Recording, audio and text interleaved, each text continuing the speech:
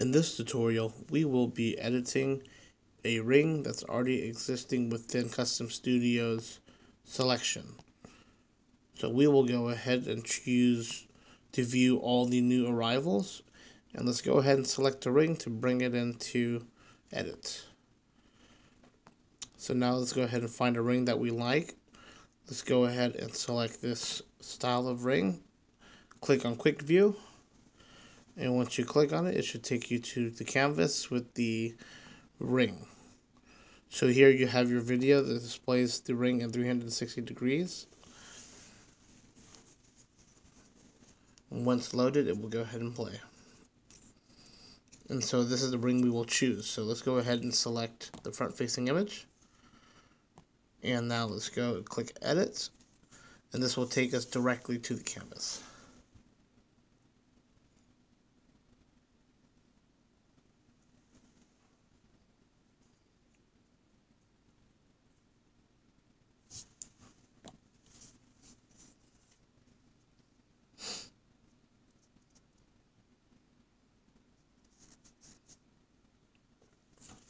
Once we directly have brought it back into the canvas, let's go ahead and make the necessary changes.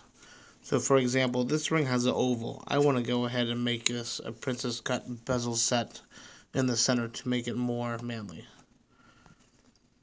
So let's go ahead and select our stone shape. In this case, I will select the princess and a red garnet style. So now let's go ahead and go back to the image and it looks like we need to go ahead and cover this oval stone first. So to do that we will have to go ahead and select the metal filler. And so we'll go ahead and select the white gold color. Once that's populated on our canvas let's go ahead and rotate it to the correct direction and then shrink it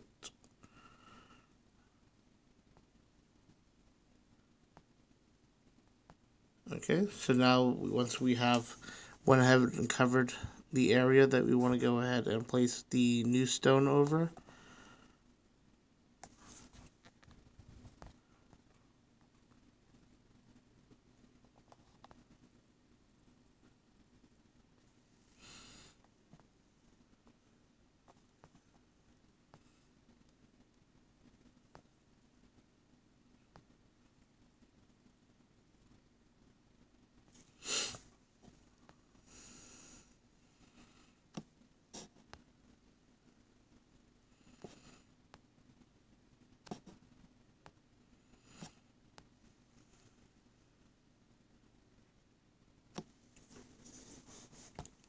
Alright, so once we have placed our metal filler, let's go ahead and select the stone choice that we would like. So in this case, it's going to be the red garnet style. So now let's go ahead and place this over our center head.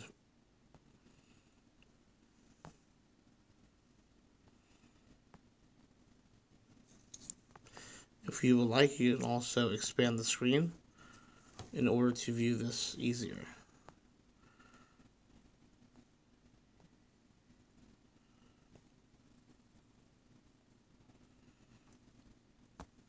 Alright, so now we have our stone.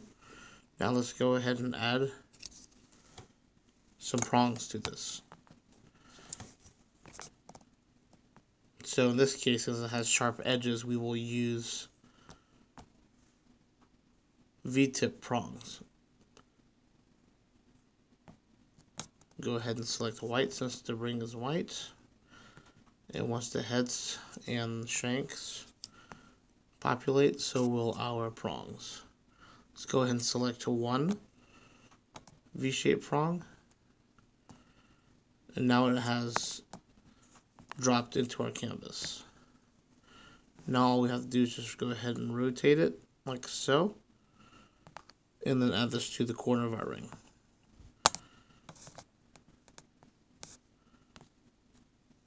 Now let's go ahead and straighten it out like so. Perfect. So now that we have it sized to our correct proportion, all we have to do is make sure it's highlighted and duplicate the part.